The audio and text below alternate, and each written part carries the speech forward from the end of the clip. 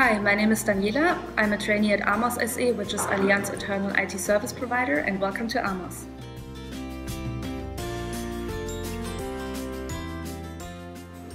I think one of the main challenges within digitalization is to dare to take data and analyze it, and analyze it for customer preferences and customer behavior.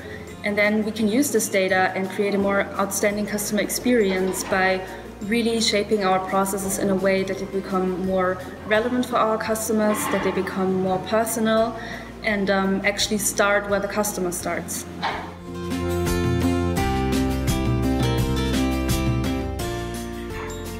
I think one of the main challenges within digitalization is to dare to analyze data in order to create a more outstanding customer experience.